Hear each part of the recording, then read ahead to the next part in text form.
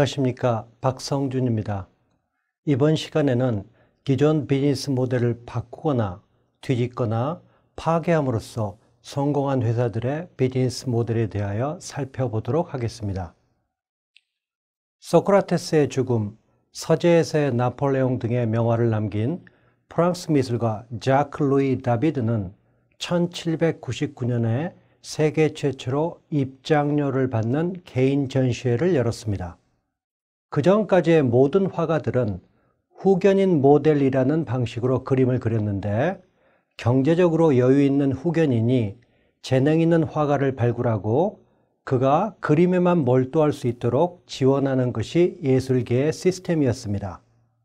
화가는 경제적 지원을 받아 예술 활동에만 몰두하고 후견인은 자신이 원하는 그림을 화가에게 요구할 수 있는 장점이 있었지만 화가는 후견인의 눈치를 볼 수밖에 없어 자유로운 예술 활동을 하기가 어려웠습니다.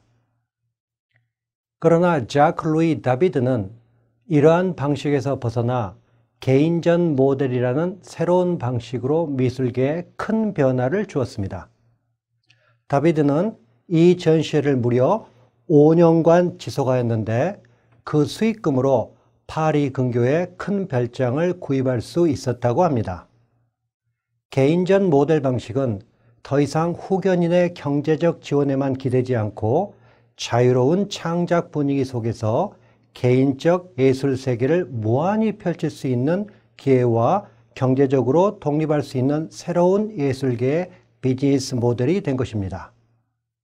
비즈니스 모델이란 회사 또는 조직이 고객을 위한 가치를 어떻게 창조하고 어떻게 전달하고 어떠한 방식으로 수익을 얻는가를 설명하는 하나의 체계적인 흐름을 말하는데 최초 비즈니스 모델이란 용어는 하버드대 케네디 스쿨 출신의 EU-연합 집행위원인 폴 티머스 교수에 의해 창안되었습니다.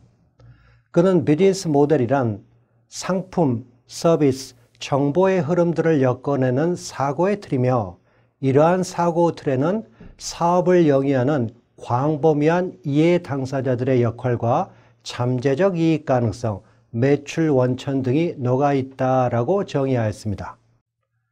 그런데 지금의 비즈니스 모델의 가장 중요한 특징은 상식을 깨뜨리거나 기존 모델을 뒤집거나 파괴하면서 계속 진화하고 있다는 것입니다. 예를 들어 보겠습니다.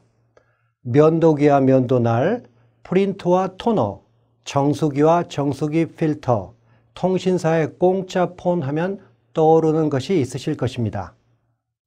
주요 제품을 낮은 가격에 판매하고 부수적인 소모품 가격을 높여 이익을 취하는 비즈니스 모델입니다. 이런 제품을 captive product, 포획 제품 또는 종속 제품이라고 부르는데 스티브 잡스의 애플은 이런 비즈니스 모델을 아이튠즈와 아이팟을 통해 뒤집었습니다. 애플의 비즈니스 모델 접근 방식은 면도기는 싸고 면도날은 비싸게 판다는 비즈니스 모델에서 아이팟은 오히려 비싸게 팔고 아이튠즈의 원음 판매는 값싸게 판매하여 기존 모델의 틀을 바꾸었습니다. 그 결과 아이팟과 아이튠스를 통해 출시 3년 만에 애플 전체 매출의 50%를 벌어들였고 그 결과 기존 비즈니스 모델을 뒤집는 방식으로 애플은 크게 성공했습니다.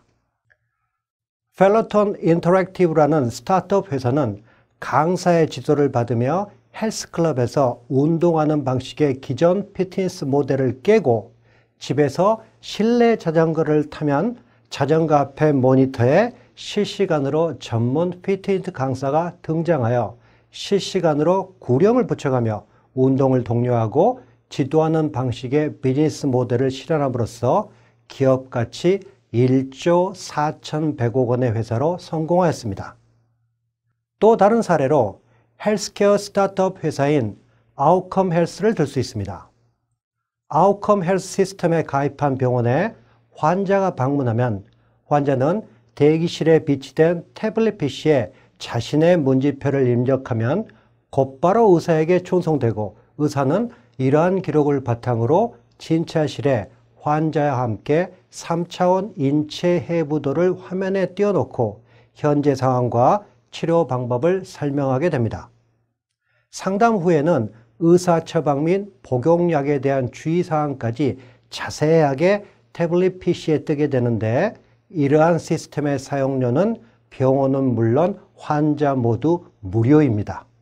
아웃컴 헬스는 환자 의사로부터 돈을 받지 않는 대신 회사의 서버에 연간 5억 8,500만 건씩 쌓이는 환자의 진료 데이터를 보험사와 제약회사에 팔아 수익을 올리는 비즈니스 모델을 개발하여 구글 지주회사인 알파벳, 투자은행 골드만삭스로부터 5,600억 원을 투자받아 기업 가치 5조 6,400억 원의 회사로 키웠습니다.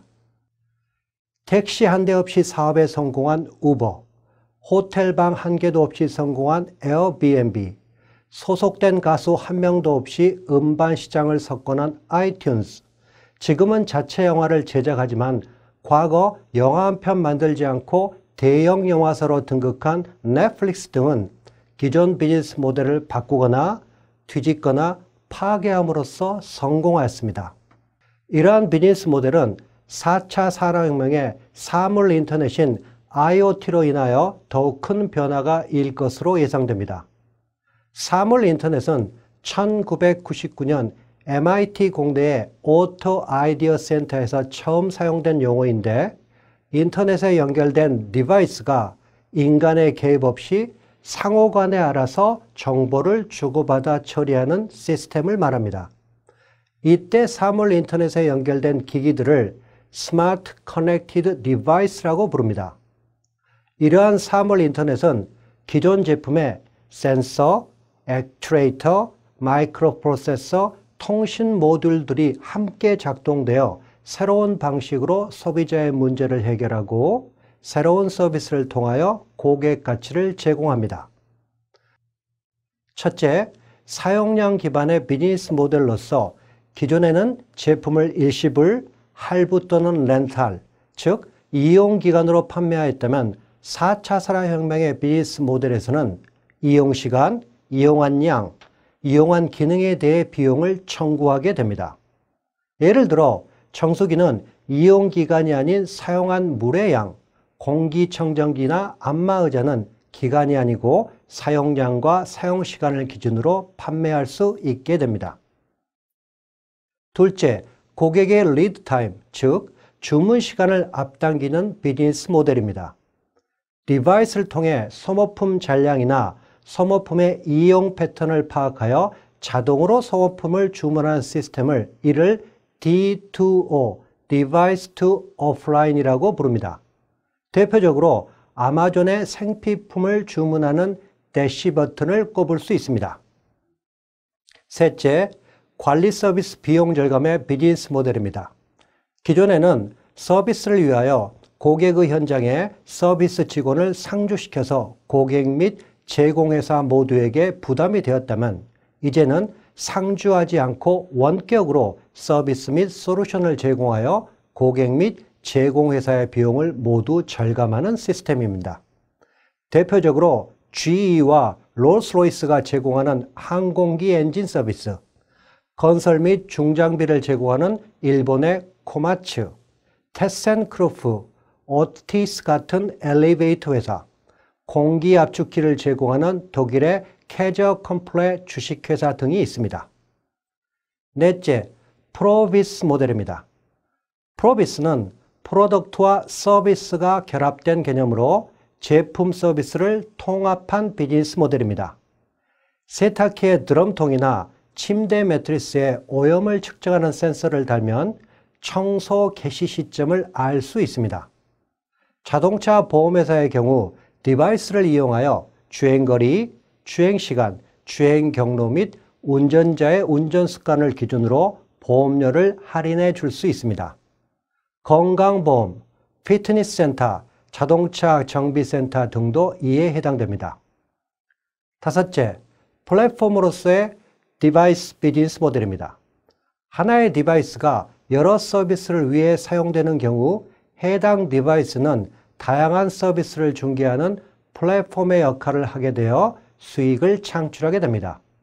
예를 들어 커넥티드 카, 소프트뱅크의 페퍼로봇, 아마존의 에코, 구글의 구글홈, SK텔레콤의 누구 등은 일회성 판매에서 서비스 중개 수수료를 받는 비즈니스 모델로 변신하여 최대 5배 이상의 수익을 올리고 있습니다.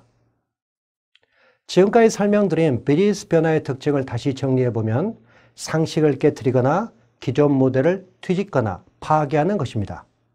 이에 여러분들께서는 지금까지의 비즈니스 모델에서 벗어나 여러분의 수익 모델을 뒤집거나 파괴하거나 또는 시장의 상식을 깨뜨릴 수 있는 부분을 현업에서 발견하신다면 새로운 경쟁력의 절대적인 원천이 되리라 믿습니다.